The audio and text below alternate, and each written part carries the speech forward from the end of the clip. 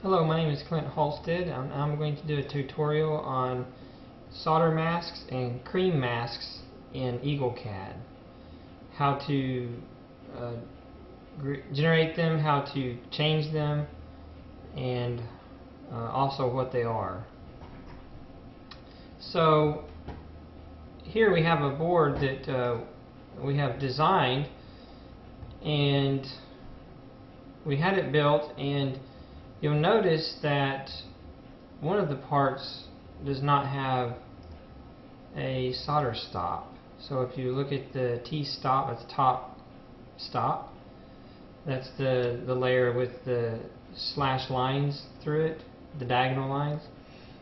We sent our files to the board shop, Pentalogix in this case, and uh, they were nice enough to tell us that we had one part that did not have a solder stop over it. So what the solder stop does is basically they put a, some type of a finish like a lacquer finish, a spray uh, on the board. I don't really know what it's made out of, but it's a clear coat.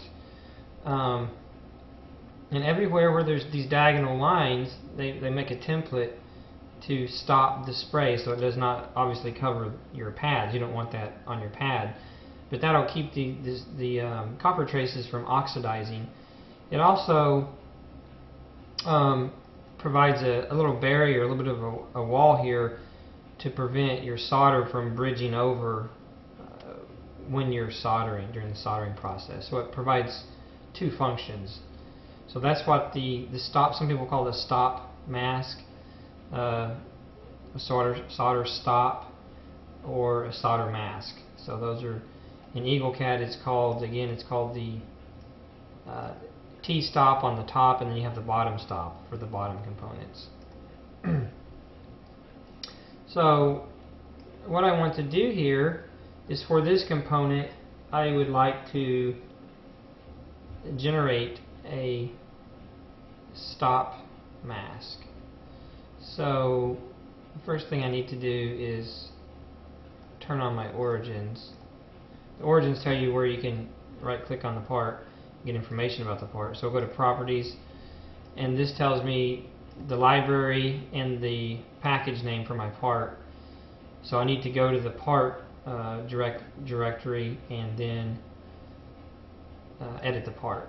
So what I'm going what I have to do is I have to bring up the control panel, go to File, Open, Library.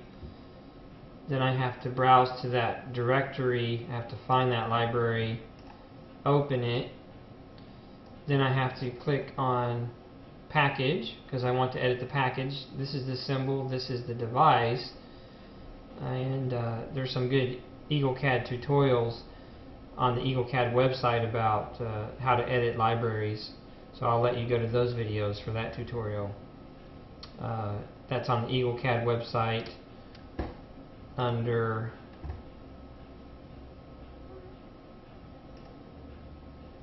let's see here.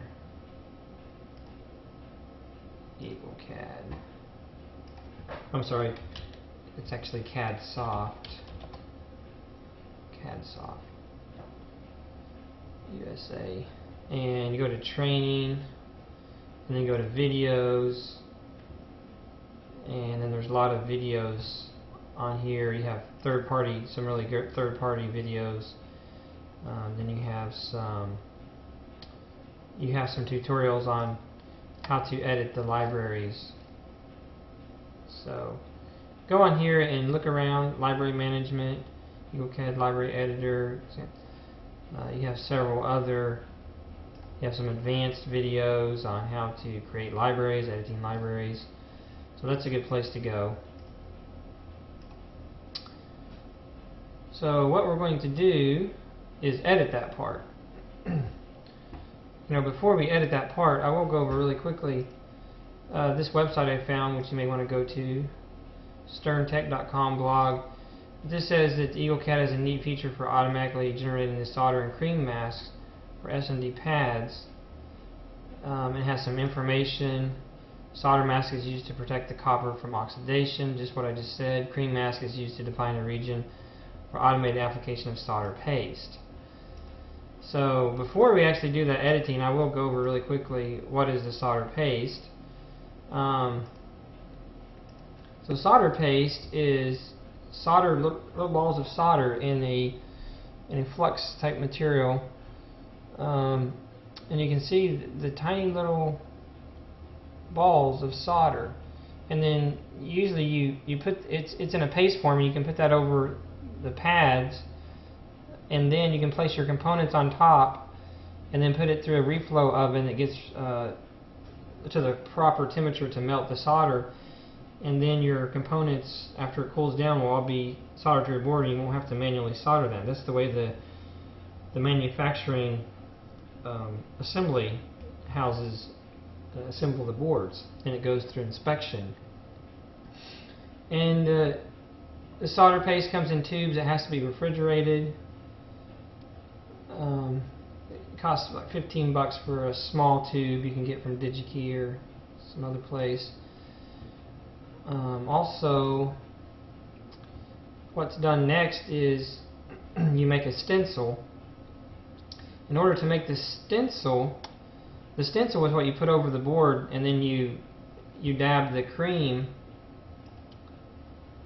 in this case uh, if you don't have a if you don't have a professional way to do it then you have to manually do it using a a knife, some type of a uh, painting knife to get the solder paste in the in between the stencil holes. But what you need in order to generate these uh, openings, you need a mask, and it's called a cream mask. So, and that cream mask is going to be smaller than the solder mask. So the, the cream mask is just going to expose the the pads. And then you'll squeegee, I guess you if you will, uh, the solder paste into these holes and then it'll get onto your board. Of course, you put the board underneath this. And then uh, you lift it off.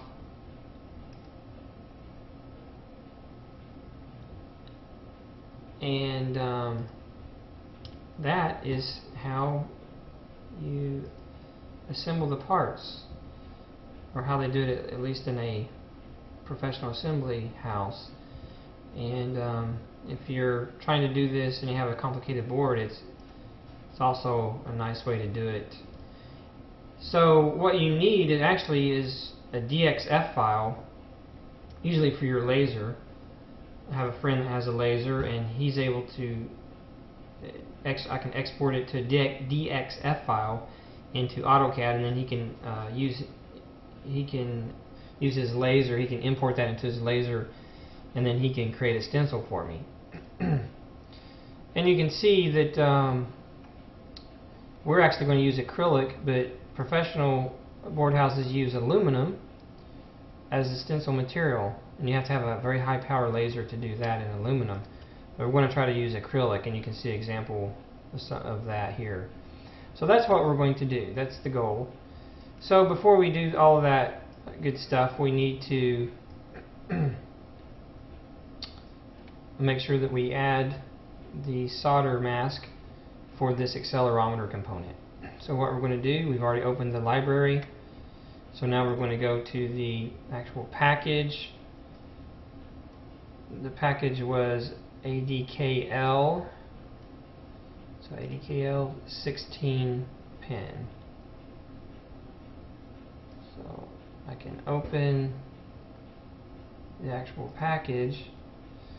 And if you see here if I click on the layers I'm going to turn off everything and just look at the T-stop. Okay? T-stop. So you can see that there's actually nothing over the, the pads. There's no solder stop. Okay, so that's what we need to change. EagleCAD makes this really easy. You can go to Properties and just click Stop and Apply. And there you have it. It's that simple. I'm going to go up here and change my grid to 1 mil and turn on the dots and you can see that the solder stop has been generated about 4 mils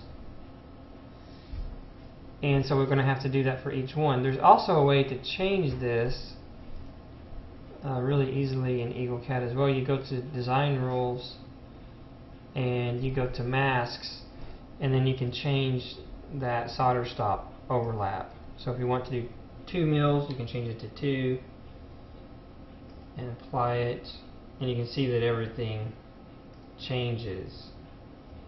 But then now I get some design rule errors. So actually I'm going to go back in and leave it 4 like it was before.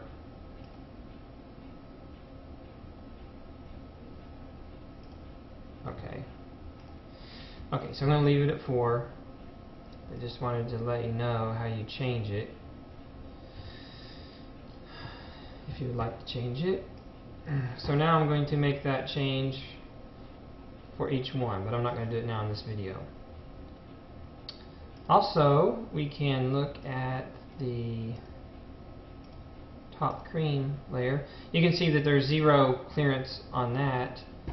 And if we go back to the board, of course you can you can change that as well in the design rules. Go to design rules. Sorry if I clicked that too fast, but this is the design rule button to click. You click that and then you can go to masks on the top tab and then the cream you have the stop and you have the cream. So if I wanted to make that 2 I could but I don't think there's any reason to. I would just make it a zero tolerance on that one. So anyway I believe that is everything you need to know. I just need to make sure to do this for for all of my accelerometer components. And I will do that and save it. And then of course you have to in your board you have to go to library update and you have to click on that library to update it. Once you do that it will um, update the part. So just as an example I'm going to save that and then go to my actual board design and then go library update. I'll update this one library. And um, you can see that this part has been rotated so you can see that the solder stop is on that one pad where it should be so thanks very much again this is Clint Halsted and this was a tutorial on how to generate solder masks and cream masks in EagleCAD version 6.2 and how to change them, how to ed edit them in the library. Thanks.